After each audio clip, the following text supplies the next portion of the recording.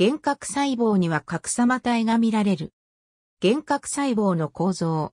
カプセル、胸膜、EN、セルオール、細胞壁、EN、プラズマメンブレン、細胞膜、EN、サイタプラザム、細胞質、EN、ライベソムズ、リボソーム、EN、プラスミド、プラスミド、ピリ、生鮮毛、バクテリアルフレジェリム、新生細菌弁毛、EN、ニュークリード、核様体核様体とは、幻覚細胞内に観察されるゲノム DNA が折りたたまれた構造体。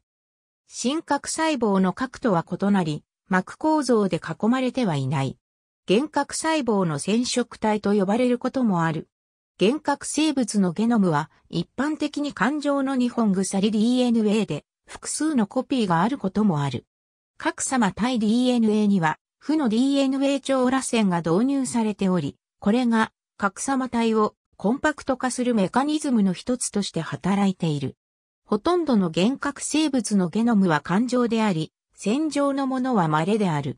そのため、テロメアなしで複製することができる。一般的に核様体は、真核生物の染色体よりも小さい。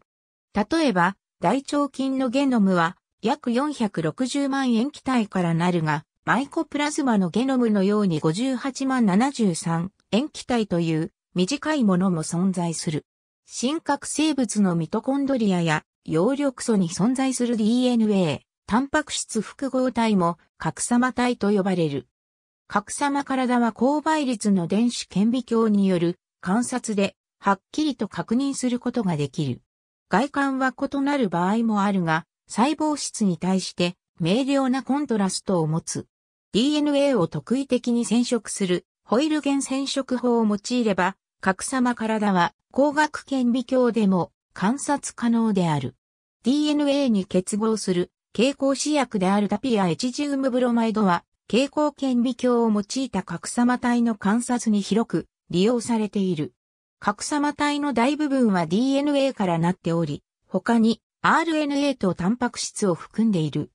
新生細菌の核様体タンパク質は、真核細胞で見られるようなヌクレオソーム構造を作らず、代わりに DNA の屈曲や DNA 間の過境を担う。一方、古細菌はヒストン様タンパク質を有し、ある種では 60BP 周期のヌクレオソーム様構造が観察されている。細菌の研究によれば、新生細菌と古細菌は共にコンデンシン様の複合体を持ち、これらが格様体の構築に大きな役割を果たしているらしい。ありがとうございます。